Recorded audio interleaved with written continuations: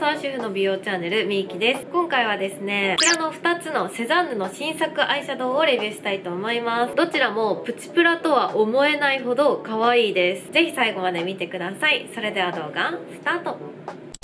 ではまず発売前から色味の可愛さに SNS でコスメ好きさんが湧いていた人気のベージュトーンアイシャドウの新色04番のミモザベージュからレビューしていきます。私はこのシリーズ01番のナッツベージュも持っていて以前こちらの01番の方をショート動画でレビューしたところ私の SNS でもかなり反響があったアイシャドウシリーズです。で今回の新色はイエベ春さんにぴったりな春カラーでで質感は存在感しっかりのラメと細やかなパールが2色。そして透け感のある軽やかなマットが1色。ちなみに01番と04番比べるとこんな感じ。やっぱり商品名にもある通り配色がベージュトーンでまとめられているので肌なじみが良くて使いやすいっていうのがこのベージュトーンアイシャドウパレットの特徴だと思います。では実際にこの04番を使ってメイクしてみます。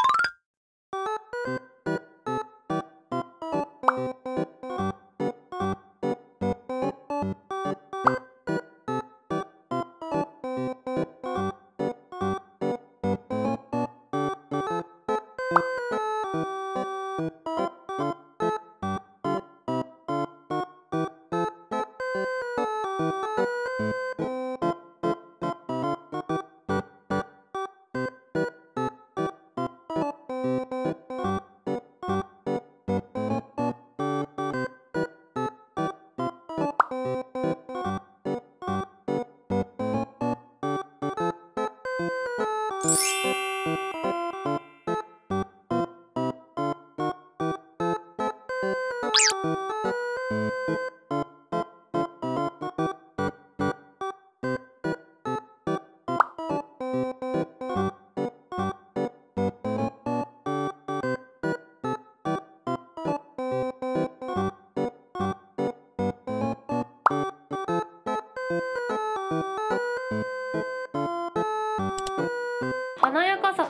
愛らしさがあってでもベージュトーンでまとめられているから使いやすい。でパレットを見た感じだと華やかな色だなって感じるんですけど実際にのせてみるとそこまで発色は強くないので普段ブラウンパレットを使っているような方でもカラーメイク挑戦しやすいんじゃないかなって思います。で個人的にはこのパレットイエベハルさんの冬用コスメにぴったりなんじゃないかなって思いました。私パーソナルカラーがイエベハルなのでこういうねコーラル系のカラーたくさん持ってるんですけど発色がいいコーラルパレットだとどうしてもメイクの印象が春夏っぽい雰囲気になってフレッシュな感じが前面に出ちゃうんですけどこれはいい意味で発色が淡いからこう秋冬に使っていてもそこまでフレッシュ感が前面に出てこないのでパーソナルカラー的にしっかり華やかさと透明感を出しつつ秋冬にも馴染むようなお上品な感じもあるんじゃないかなと思いました。結構イエベハルさんって秋冬のメイクのカラーどうしようって悩む方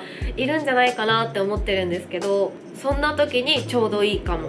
どうでしょう。あとやっぱりこのシリーズこの上のラメがねすごく華やかで可愛いですよね。照明当てると本当に可愛い、まあ、ただ少しだけ塗る時にラメ落ちしちゃったかなって思いました。ここの頬の辺り少しキラキラしてます。続いてはセザンヌトーンアップアイシャドウの11番トープブラウン。動画であまり紹介したことないんですけど実は私このシリーズ4つ目です。集めたくなっちゃうくらいねお気に入りのプチプラアイシャドウです。今回の新色11番トープブラウンは全体的に発色が優しいカラーで揃っています。で塗ってみるとこんな感じです。すごくねツヤ感が綺麗なんですよね。こういうグレージュ系のカラーって個人的に奥舞台さんととか二重幅の広くない方にとって目が潰れるカラーだと思っていて塗ると目が逆に小さく見えてしまうような色味。そういったカラーになりがちなんですけどこれは透け感があるから二重幅がそんなに広くない私でも使いやすいカラーだなって思いました。で今回のこの新色のカラー既存の01番と少し似ているカラーかなと感じたのでそれぞれ手に塗ってみるとこんな感じです。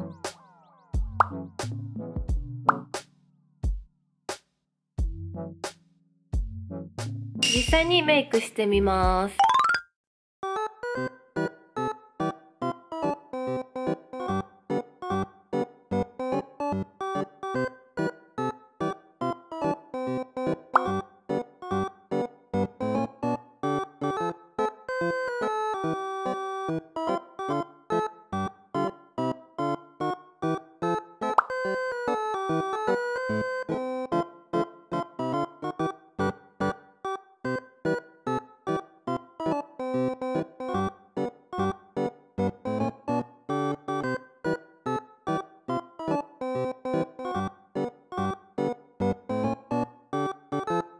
Thank you.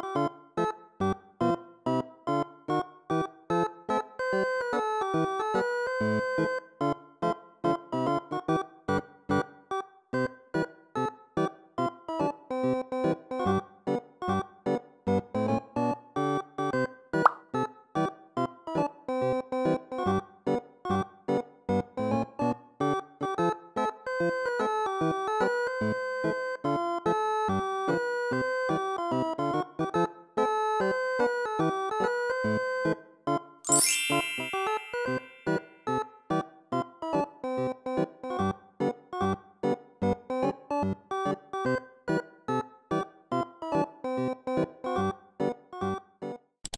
今までグレージュ系のカラーに苦手意識があったんだけど、これはね、このピンクがめちゃくちゃいい仕事をしてくれていて、この涙袋に入れたこのパールのピンクですね。これがあることによって柔らかさも出してくれるし、全体的に暗くなりすぎない印象にしてくれるので、とっても使いやすかったです。で、しかも真ん中のグレージュのカラーがいい感じに目の陰影を作ってくれて、なんかしっかり目も大きく漏れてるんじゃないかななって思います。正直このクオリティで638円は安すぎる。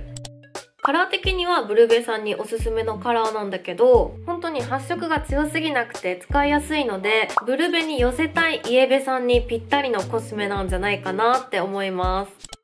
はい、ということで今回はセザンヌの新作アイシャドウを2つレビューしてみました。いかがだったでしょうか？正直お値段もすごくお手頃価格だし、ドラッグストアで手軽に購入できるので、両方ともすごくおすすめです。ぜひチェックしてみてください。それでは今回の動画が少しでもいいなと思ってくれたらチャンネル登録と高評価ぜひよろしくお願いします。それでは、バイバーイ。